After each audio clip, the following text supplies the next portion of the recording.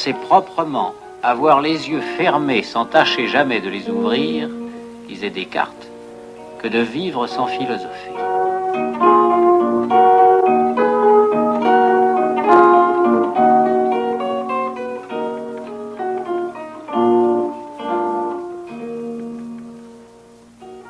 Il y a une vie de la philosophie hors de la classe, une cité des philosophes qui l'englobe et la nourrit.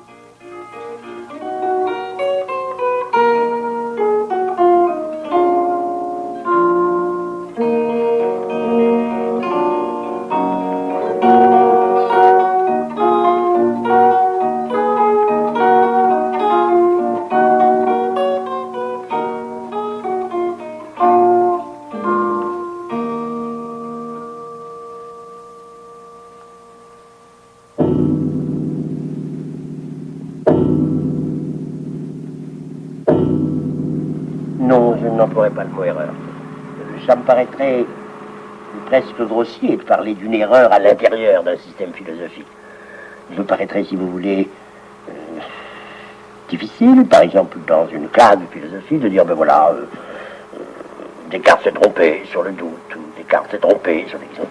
Bon, je ne pense pas que la réfutation d'un philosophe par un autre philosophe, bien qu'ils aient prétendu se réfuter les uns les autres, la réputation d'un philosophe par un autre philosophe est quelque chose qui a beaucoup de sens, je ne crois pas.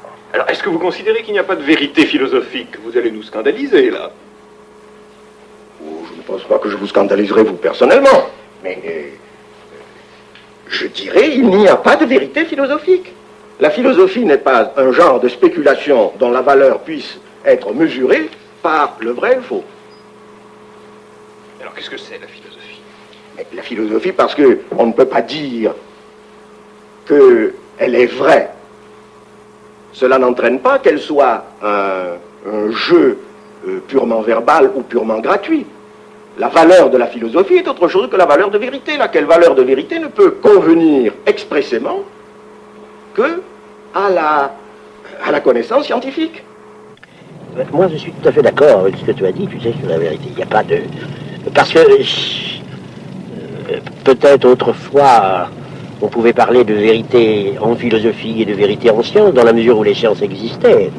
Aujourd'hui, c'est irréversible, et il n'y a vraiment deux vérités au pluriel, euh, que dans la mesure où il y a des sciences, où on les établit, et euh, il n'y a aucune contradiction entre ce que tu as dit, qu'il n'y a de vérité que scientifique, et ce que j'ai dit, qu'il n'y a pas d'erreur, hélas peut-être, en philosophie. Oui, il n'y a pas, il n'y a pas de contradiction. Et pourtant, ce n'est pas tout à fait la même chose de dire il n'y a pas d'erreur en philosophie et de dire il n'y a pas de vérité philosophique. Euh, D'abord, il n'y a pas d'erreur en philosophie, ça flatte tous les philosophes. Mais il est bien certain que là où il n'y a pas d'erreur, il n'y a pas non plus, à proprement parler, de vérité. Y a une errance, mais il n'y a pas de... Tout à fait d'accord. De sorte que je suis aussi, moi, tout à fait persuadé qu'il n'y a pas, n'y a pas de contradiction. Et d'ailleurs, il me semble que j'avais dit que si il n'y a pas de vérité philosophique, je n'avais pas pour autant euh, voulu dire premièrement que un philosophe n'a jamais à se préoccuper de savoir ou non s'il dit la vérité, et deuxièmement que euh, la philosophie n'est pas pour autant étrangère à une recherche euh, concernant euh, la nature ou le sens ou l'essence, comme tu dis, de la vérité. C'est ça. Moi, je pense qu'il faut faire la différence, comme nous le disions tout à l'heure, il faut faire la différence entre la vérité et le problème de l'essence de la vérité qui n'est pas du type de la vérité scientifique. Tout à fait d'accord. L'essence de la vérité est d'un autre ordre, de même qu'on a dit que l'essence de la technique n'était pas technique. Oui, Euh, exactement, il faut dire l'essence de la vérité est une problématique. je suis tout on à peut fait... errer d'ailleurs, mais qui est une problématique euh, euh, authentique Oui, par rapport aux vérités spécialisées des sciences actuelles. Aujourd'hui, les vérités scientifiques sont essentiellement culturelles oui, et n'ont plus rien de cosmologique. Euh, Einstein a peut-être été le dernier. Il n'y aurait plus un Newton aujourd'hui. On ne peut plus faire euh, une histoire du ciel, euh, un problème cosmique. C'est plus possible. Absolument. Ni la physique, enfin, ça Bachelard l'a très bien vu, c'est quelque chose de culturel. Et le mot cosmique n'est employé par Bachelard que en, ce qui concerne la poésie, jamais en ce qui concerne l'imaginaire et jamais en ce qui concerne Alors, le rationnel. Alors, il reste aux philosophes un sens de la totalité que nous ne pouvons absolument pas évacuer dans notre vie. Non, c'est la définition même de la philosophie. Exactement. Plus la science deviendra culturelle et moins cosmique, moins totale, plus il y aura besoin d'une philosophie pour rassembler les hommes et pour... La philosophie sera d'autant plus indispensable que la science sera plus vérité, rigoureuse et technique dans un domaine spécial. Plus il y aura besoin d'un retour à cette essence de la vie. Tout à fait d'accord. La philosophie a toujours été une lutte pour la clarté, pour la clarification, pour la cohérence. Et à ce titre, c'est un, c'est une œuvre de langage particulière et privilégiée. C'est dans le, la réflexion philosophique, dans la spéculation philosophique, que tous les problèmes de signes, de sens, des autres disciplines viennent se réfléchir. L'histoire de la philosophie nous montre que la philosophie a toujours été une lutte contre les malfaçons du langage, contre les questions mal posées euh, par piège de langage, et par conséquent, elle est en lutte avec son propre langage.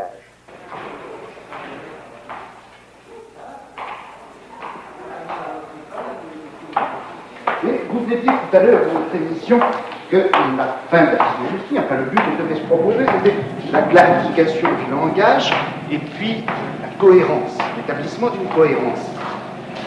Et dans le reste de votre émission, vous avez parlé du polysémantisme fondamental du langage. Est-ce qu'il n'y a pas là, pas une contradiction, mais une certaine opposition qui recouperait un peu l'opposition apparente qu'il y avait entre l'émission de Canquilhem et celle d'Hippolyte Hippolyte disant qu'il ne pouvait pas y avoir d'erreur en philosophie, et puis Gandhilem disant qu'il n'y avait de vérité que dans la science. La science étant du côté de la cohérence et la philosophie peut-être du côté de la polysémie. Oui, je pense que cette contradiction doit être introduite à l'intérieur du travail philosophique.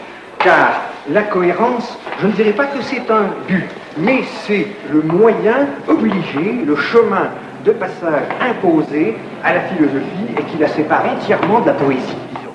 Mais cette cohérence ne pourra jamais être qu'un idéal formel pour la philosophie parce que vient affleurer dans ce champ de la philosophie d'abord tous les langages hérités et porteurs de leurs empilements de signification, le langage ordinaire, les, les problèmes de, hérités de la réflexion sur la science, sur l'éthique, et il me semble donc que la philosophie doit être considérée comme euh, ce, lieu d'affrontement entre une tâche formelle de cohérence et d'autre part l'effort pour recouvrer à travers cette euh, multiplicité des sens ce dont il est finalement question en philosophie, c'est-à-dire dire ce qui est, c'est-à-dire que le polysémantisme serait du côté soit alors de l'ontologie, soit des contenus culturels livrés et transmis par l'histoire.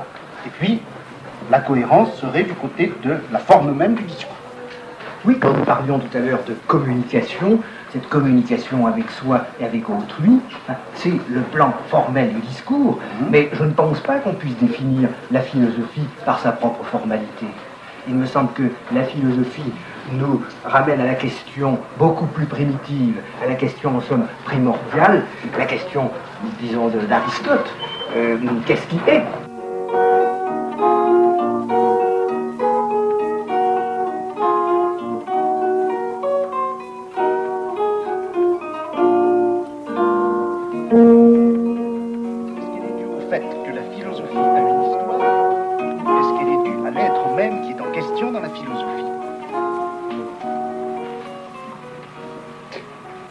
Déjà parlé de la question entre vous, je suppose. À mon sens, il y a trois questions liées les unes aux autres dans euh, la question qui nous occupe aujourd'hui, dans le problème qui nous occupe aujourd'hui.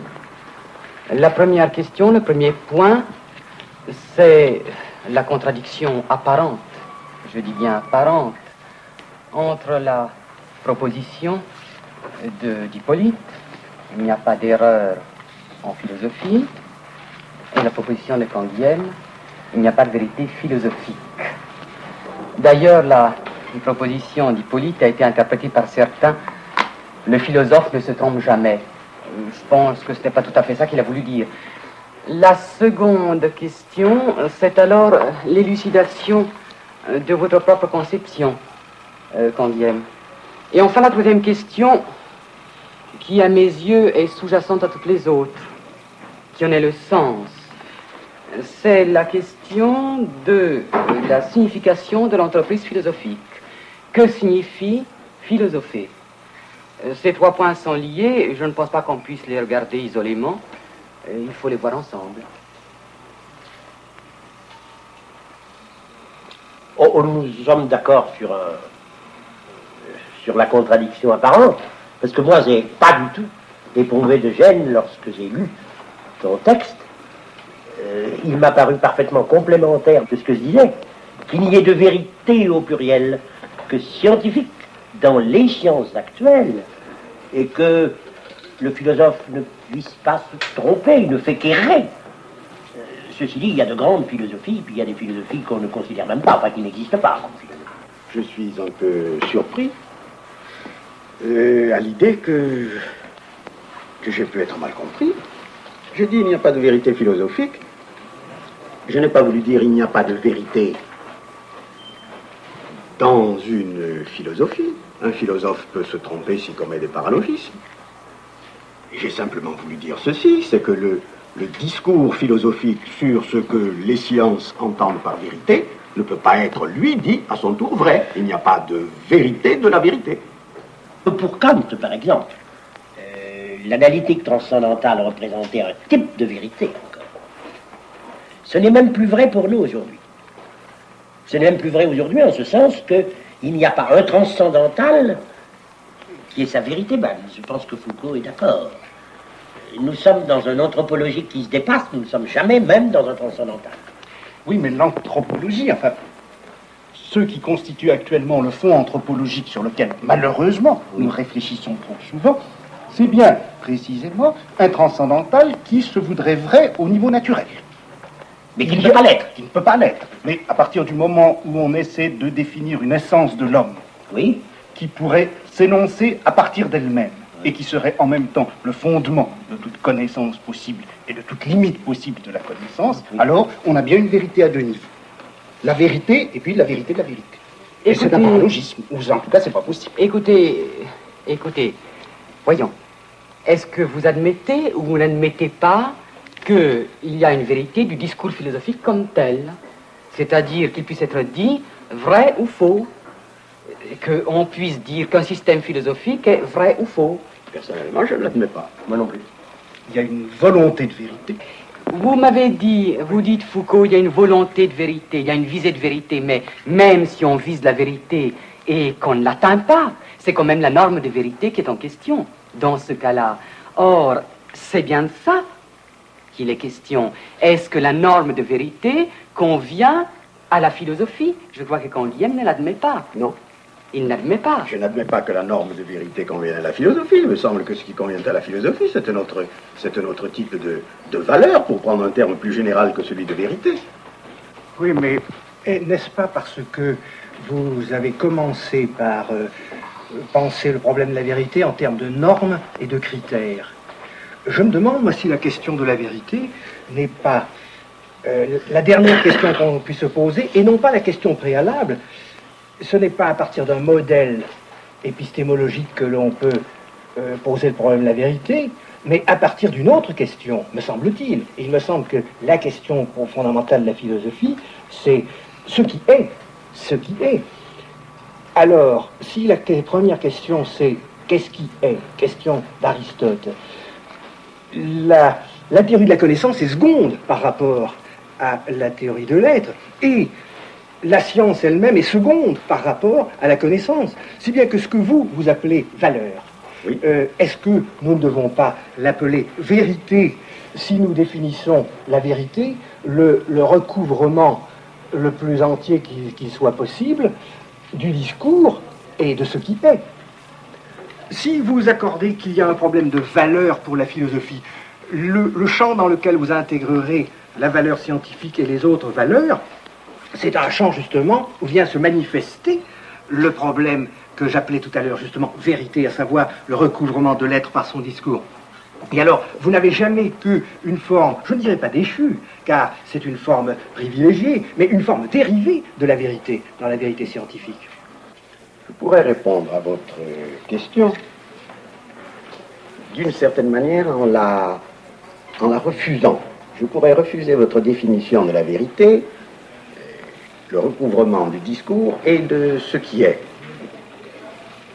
Parce que, précisément, pour euh, la science, ce qui est, c'est ce qu'elle définit progressivement comme étant le vrai, indépendamment de tout rapport à un être euh, supposé euh, comme terme de référence.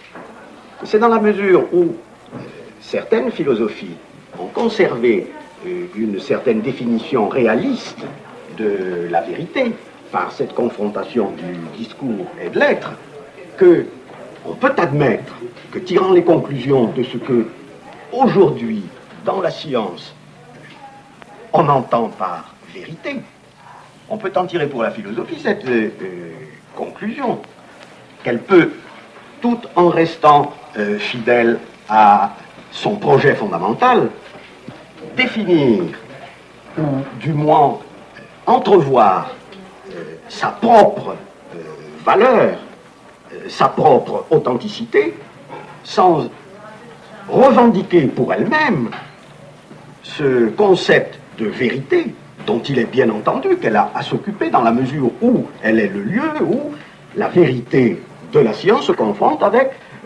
d'autres valeurs telles que les valeurs esthétiques ou les valeurs éthiques. Voilà, euh, ce n'est peut-être pas très clair, mais je n'ai pas dit je n'ai pas dit autre chose, me semble-t-il, au cours de euh, la, ma discussion avec euh, Alain Badiou. Est-ce que je peux, est-ce que je peux intervenir simplement pour dire, tu as dit qu'il n'y avait pas pour la science d'objet total, ni nature, ni cosmos, ni univers. Et tu as dit que la science c'était les sciences à l'heure actuelle, c'est-à-dire des aspects extrêmement spécialisés et qui établissent techniquement leur vérité, seuls qui existent. Tu as bien dit cela. Oui, j'ai répondu. dans cette mesure, nous, nous réservons cette totalité dans laquelle nous sommes, dans laquelle nous sommes pris. Nature, cosmos, euh, homme, nous sommes pris dans cette totalité. Je n'ai pas dit autre chose. Tu l'as pas dit. Même c'est pour ça que n'ayant pas dit autre chose, il y a mon entretien avec Badiou. Mais, et donc ce rapport avec cette totalité, c'est la question de la vérité. C'est la question de la vérité. J'entends bien que dans ces formes historiques, elles sont contemporaines de certaines formes de science, que donc les énoncés philosophiques sont eux aussi frappés de vieillissement en tant qu'ils sont euh, corrélatifs d'un état des sciences. Mais la question même, à savoir que je suis je suis dans ce qui est et que euh, j'éprouve à la fois ma situation, j'y ai des projets, et que dans ce rapport entre une situation et un projet, je déploie une certaine lumière dans lequel un discours est possible, c'est là le réseau de la vérité. Parce que si nous n'appelons pas cela vérité, mais nous l'appelons valeur, euh, le rapport entre les différentes valeurs en jeu dans notre existence d'homme va se trouver entièrement coupé de cette question de, la totalité. Autrement dit, l'idée de totalité, c'est la façon dont se récupère euh, rationnellement ce, rapport de mon être à l'être. Oui, d'ailleurs, il me semble que euh, je ne vous ai pas dit, euh, mon cher Badiou, autre chose. Quand j'ai dit que la totalité, ce n'était pas du côté de la nature ou, de la nat ou du ou du cosmos ou du monde que nous la trouvions, mais que c'était précisément l'affaire, l'affaire propre de la philosophie. Que les valeurs doivent être confrontées les unes aux autres à l'intérieur même d'une totalité qui ne peut être précisément que présumée, j'en suis tout à fait d'accord, mais du moment qu'elle ne peut être que présumée, et que vous ne pouvez pas, selon moi, euh, lui, lui donner la signification de l'être au sens aristotélicien auquel vous vous référiez tout à l'heure, alors euh, il me semble que je puis, je ne dis pas que j'ai raison, bien entendu, puisque ce serait contredire à propre, à mon propre axiome, il me semble que je puis être fondé à concevoir la tâche propre du philosophe comme euh, ne relevant pas spécifiquement de ce mode de jugement auquel convient expressément les valeurs de vrai et de faux.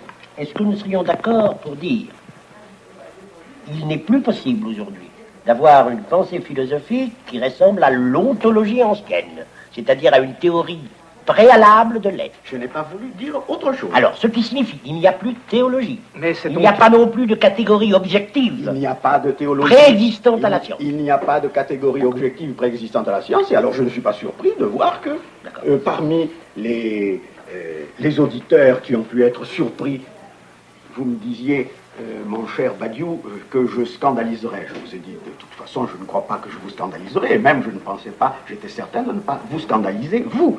Eh bien, parmi ceux précisément qui ont pu être surpris, il y a ceux pour qui la philosophie c'est à la rigueur un substitut de théologie, ou ceux qui pensent qu'ils ont désormais le moyen de transformer la philosophie en science. En catégorie objective substituable à une pensée révolutionnaire active. Oui, mais ces catégories objectives sont déjà une forme dégradée de leur propre question. Et c'est cette question qu'il faut retrouver. C'est le ah, champ même de la question. Tout à fait d'accord. Mais tout à fait d'accord pour cette problématique. donc, s'il y a une question, euh, comment appellerez-vous le rapport que nous avons avec cette question, si ce n'est pas un rapport de vérité? Sinon, vous allez faire du rassemblement de vos valeurs et de leur confrontation simplement une grandeur culturelle.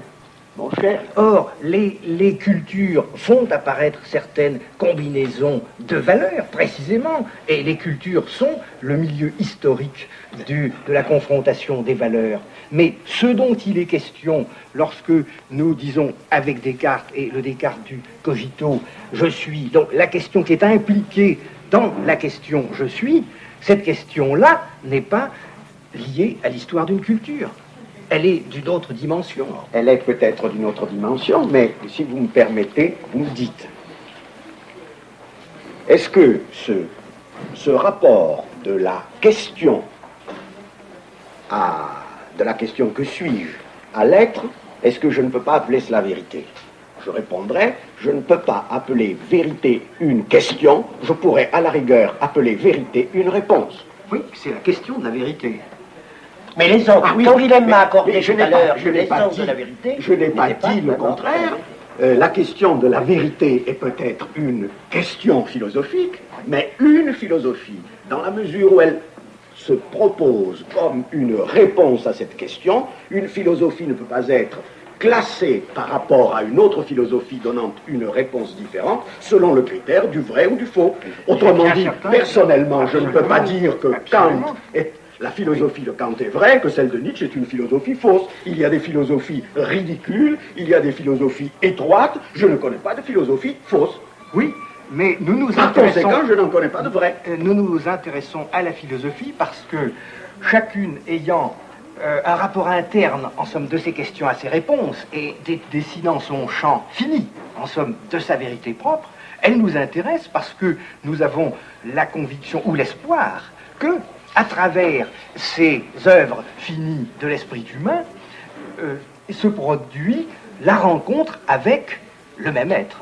Sans quoi euh, nous serions euh, schizophrènes. Mais nous n'avons pas en même temps le moyen de montrer qu'il s'agit de la même chose. C'est pourquoi nous, tout ce que nous pouvons dire, c'est que nous espérons être dans la vérité, mais nous ne pouvons pas assigner la vérité à, une, un système philosophique produit par l'histoire de la culture. D'accord. Je voudrais ramener la question sur un terrain peut-être euh, plus élémentaire et plus positif en même temps. Vous avez vous-même montré, en accord avec euh, l'inspiration générale de l'épistémologie contemporaine, que la science ne découvre pas la vérité, ou ne révèle pas une réalité qui lui serait antérieure, mais qu'elle institue ou constitue à la fois, en somme, le problème de la vérité et les procédures effectives par quoi, partiellement, ce problème peut recevoir une série de réponses ordonnées.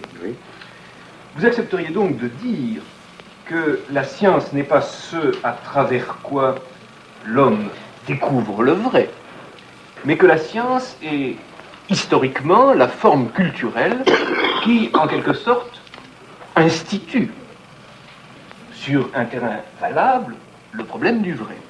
Si vous admettez que l'homme est, en somme, historiquement producteur de la vérité, sous la forme la pratique scientifique, alors, comme pour toute production, se pose le problème de la fin ou du télos du produire.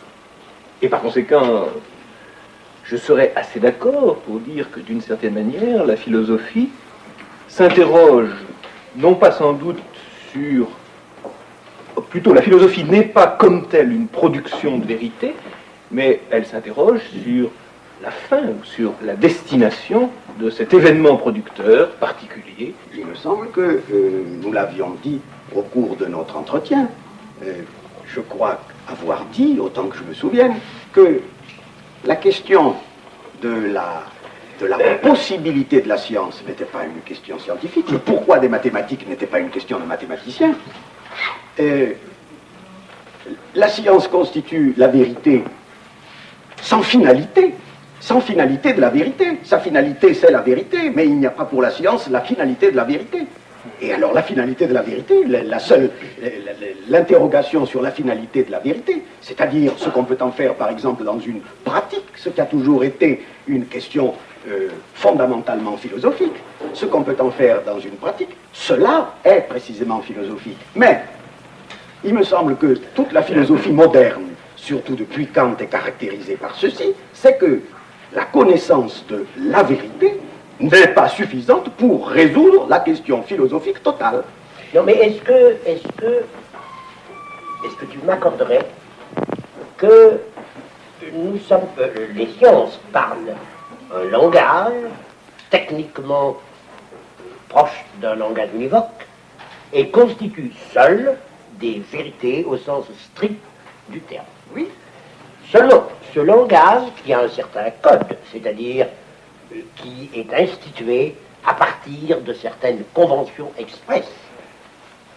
Ce langage qui a un certain code est lui-même lié à un langage naturel. Le seul dont nous ne partirons pas de données, nous partirons d'un langage naturel, qui était sans doute spontanément ontologique avant la philosophie, qui ne peut plus l'être aujourd'hui, mais qui n'en reste pas moins le langage naturel, lequel est à lui-même son propre code, tandis que tous les autres ont un code par rapport à ce langage?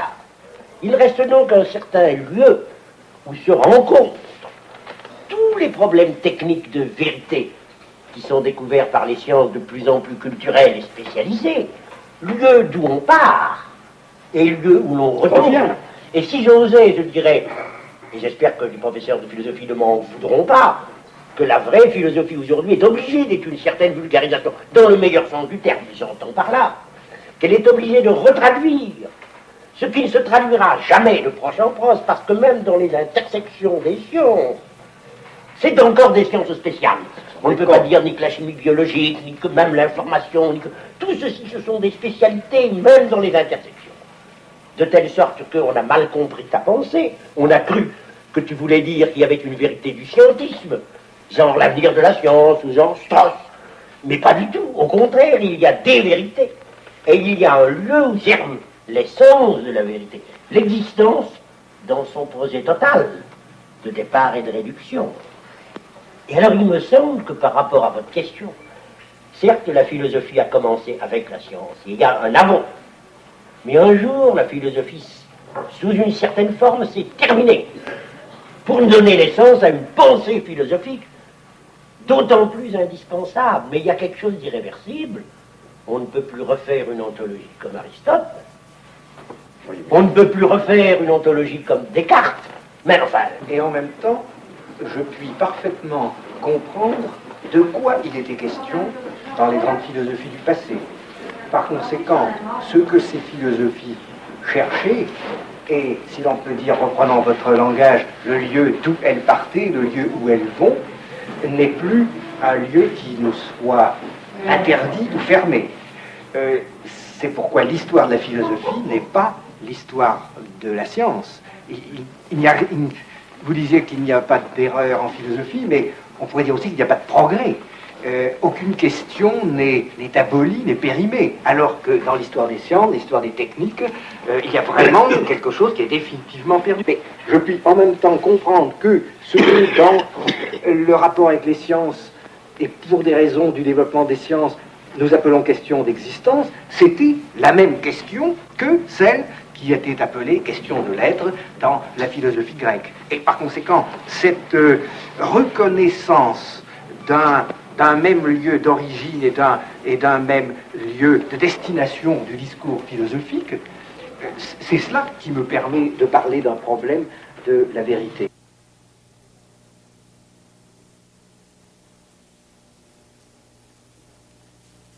Est-ce que euh, vous accepteriez de dire qu'une philosophie, euh, c'est en somme un centre de totalisation de l'expérience d'une époque?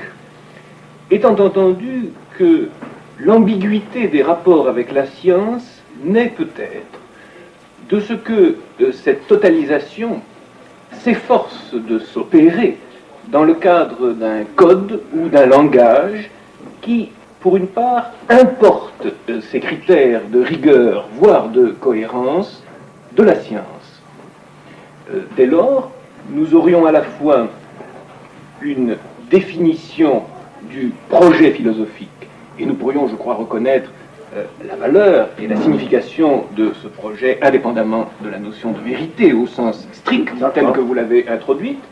Nous disposerions d'autre part d'une sorte de norme à l'égard de ce projet, d'une finalité au regard de quoi ce projet euh, prendrait euh, son sens et sa dignité, et en même temps nous pourrions peut-être rendre compte des ambiguïtés et des difficultés qui localement se sont produites dans la confrontation entre science et philosophie, dans la mesure où, à diverses époques, et peut-être est-ce maintenant terminé, à diverses époques, la philosophie a pu croire que euh, cette totalisation générale de l'expérience d'une époque dans laquelle elle était engagée pourrait se formuler dans un langage analogiquement rigoureux par rapport au modèle ou au paradigme que la science lui fournissait. Oui en même temps, il ne faut pas laisser retomber euh, ces philosophies à de simples grandeurs culturelles, hein, qui seraient euh, comme des points de concentration historique, sous peine de perdre ce qui était en question dans ces philosophies, et du même coup de, casser l'histoire de la philosophie.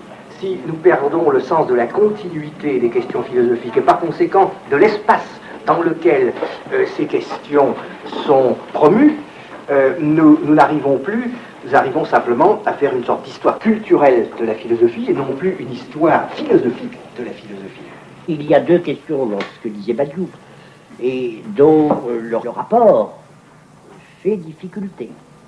Dire que la philosophie est le centre de totalisation de notre époque, c'est bien au fond ainsi que de la conçoit, pour ma part.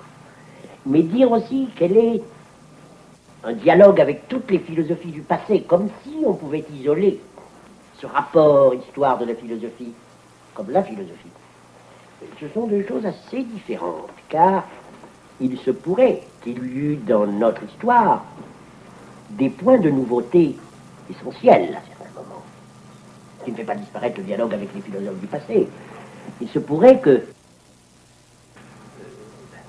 avant que la philosophie naisse, pré-socratique, il y ait une certaine façon de poser le problème de la philosophie et de l'être qui était lié, parce que la science n'était pas apparue.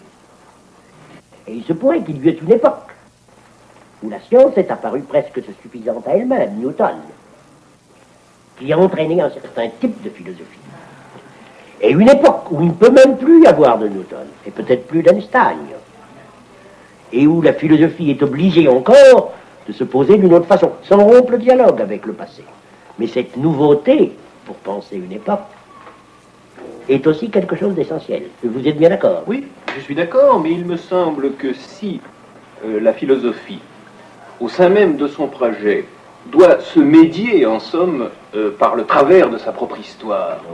C'est qu'elle trouve dans cette, dans cette histoire, elle trouve les instruments qui ont été progressivement forgés et qui sont euh, ceux de la catégorie de totalité. Autrement dit, il me semble que c'est la catégorie de totalité comme telle qui fonde la continuité du discours philosophique. Ce que je voulais éviter, c'est une conception des problèmes philosophiques tirés d'une philosophie à pérennis à laquelle je ne crois pas. Assurément je crois au dialogue des philosophes, à la médiation des philosophes, et je crois beaucoup plus à la pensée philosophique que je ne crois à une histoire indépendante de problèmes philosophiques à travers les philosophes. Voyez-vous, c'est, contre ça que j'en avais. En ce sens, on ne peut répéter aucune philosophie, mais on peut comprendre sa question, et c'est en la comprenant que je comprends ma question. Exactement. S'il est vrai que la philosophie est la totalisation d'une, euh, de l'expérience d'une époque, dans la mesure où cette expérience contient, elle, des modes euh, d'expérience tels que la science ou la technique, qui, je ne parle naturellement pas de l'art, mais pour la science et pour la technique, sont des activités qui disqualifient ou déprécient leur propre passé, et dont c'est même la fonction euh, essentielle. L'intégration, à un moment donné, d'une mathématique comme celle de Hilbert, d'une physique comme celle d'Einstein, de formes d'art comme l'est, euh, par exemple, la peinture de Picasso. L'intégration de ces modes euh, d'expérience, précisément parce que certaines, certains de ces modes comportent un progrès, cette intégration ne peut jamais s'opérer de la même manière, même si l'intention de totalisation, le projet de totalisation reste identique. Et par conséquent, si il n'y a pas d'homogénéité des philosophies, c'est-à-dire de ces tentatives d'intégration euh, sous le rapport de leur, de procédure et par conséquent aussi de leur style et de leur euh, conclusion. Alors, euh, on ne peut pas les confronter les unes aux autres sous un certain rapport qui puisse être dit de plus ou moins de vérité. Et nous retrouvons encore ma proposition euh, de, l'autre jour. Les philosophies se distingueront par conséquent les unes des autres, non pas parce que les unes sont plus vraies que les autres, mais parce qu'il y a des philosophies, comme d'ailleurs vous l'avez dit tous les trois euh, spontanément, parce qu'il y en a qui sont grandes et d'autres qui ne le sont pas. À quoi vous le reconnaissez? Autrement dit, y a-t-il un critère de cette grandeur ou de cette étroitesse de,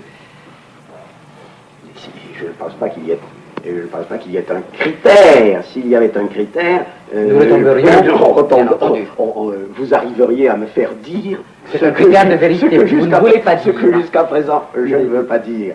Euh, il, y a peut-être, il y a peut-être des signes auxquels on, reconnaît euh, une grande philosophie et une philosophie petite ou étriquée, comme je l'ai proposé tout à l'heure.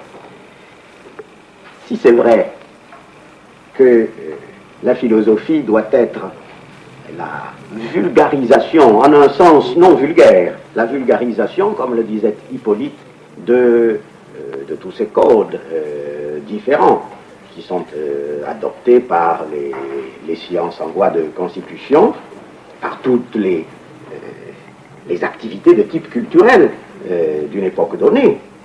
il me semble que il y a un côté fondamentalement euh, naïf, je dirais même populaire, de la philosophie que l'on tend trop souvent à négliger. Et peut-être qu'une grande philosophie, c'est une philosophie qui a laissé dans le langage populaire un adjectif.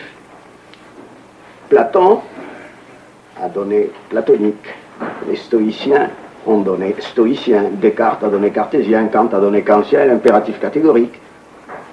Autrement dit, il y a des philosophies qui, parce qu'elles ont bien euh, totalisé euh, l'expérience d'une époque, ont réussi à diffuser dans euh, ce qui n'est pas la philosophie, mais les cultures qui à son tour, doivent, les modes de culture qui à son tour seront atotalisés par une autre philosophie, et qui ont en ce sens eu un impact direct sur ce qu'on peut appeler notre existence à tous de tous les jours, notre existence quotidienne. Alors, il me semble que ce n'est pas, ce critère peut paraître, cet indice, pardon, peut paraître vulgaire, et je me demande s'il n'est pas quand même authentiquement philosophique. Et même si on se trompe quand on dit stoïcien ou stoïcisme, je veux dire même si euh, le vulgaire se trompe dans l'acception du terme, de l'adjectif.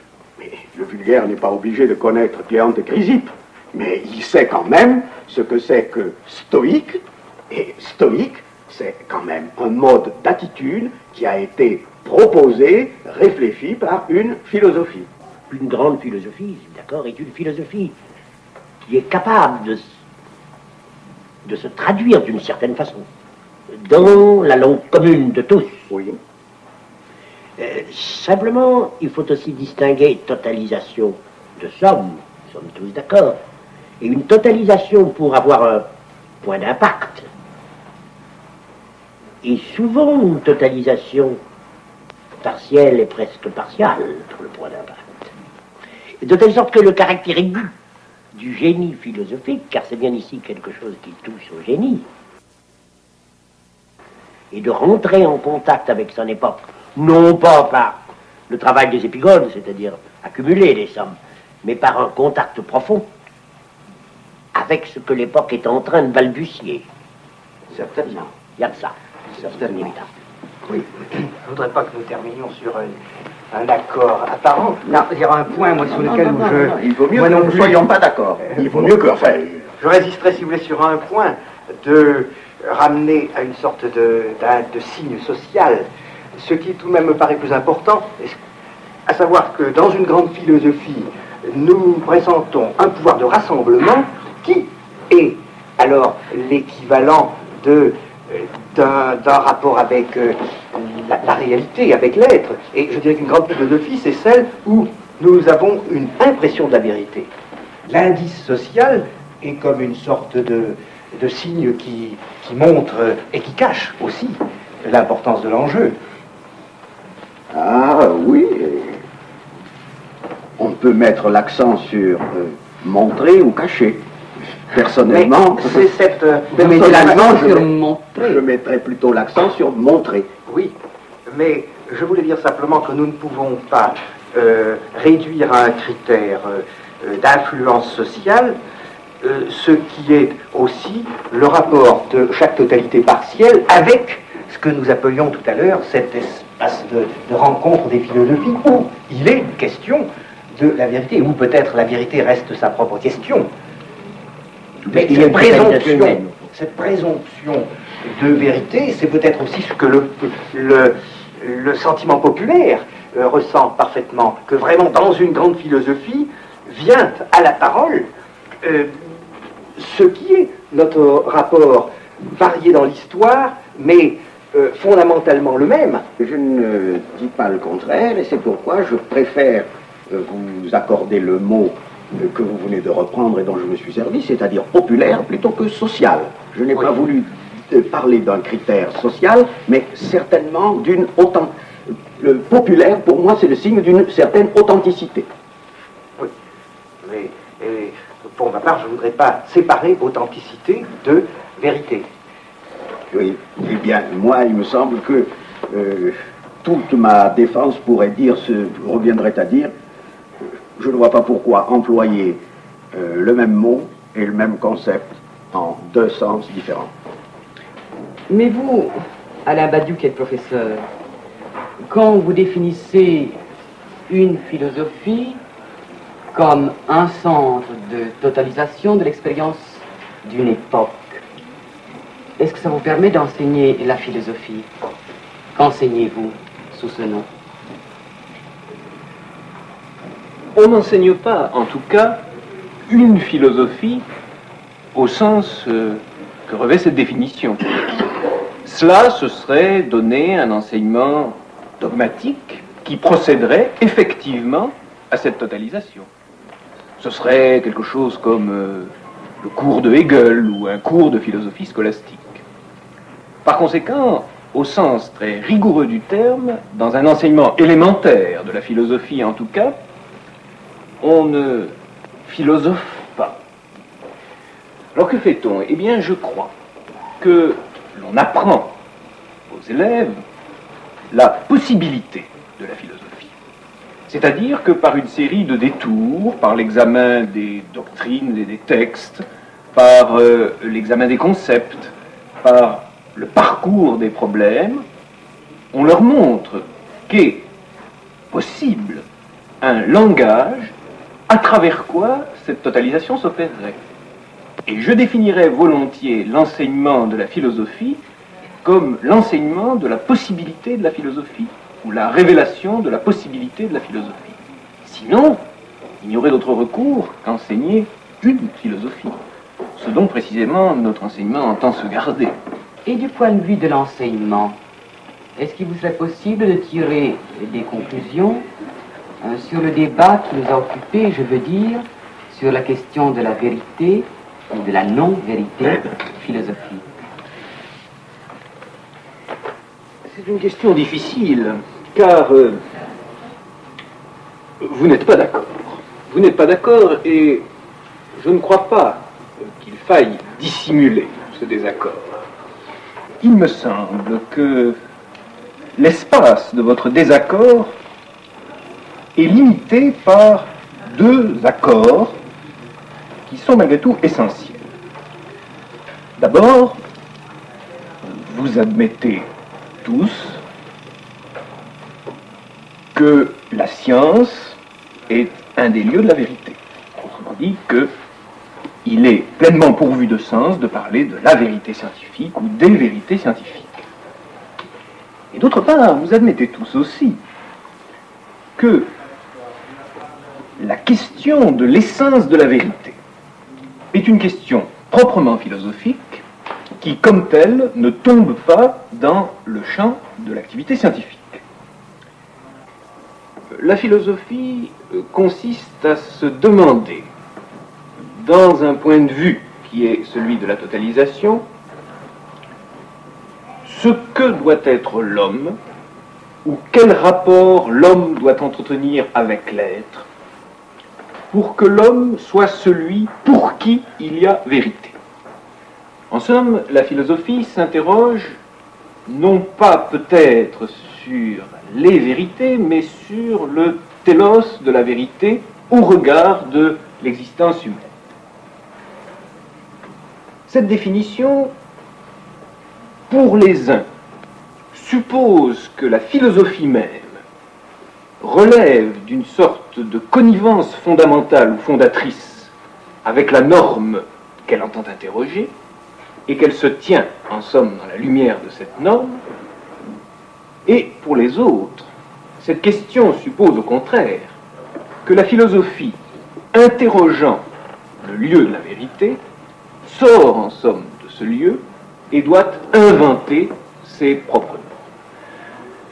Si le statut de la vérité contrôlable, effectuée, précise, demeure l'objet de notre désaccord, il y a comme à l'horizon du dialogue une visée du vrai ou une ouverture au vrai qui est peut-être ce à partir de quoi nous avons posé nos questions, compris nos questions, et aussi, par conséquent, formulé nos réponses.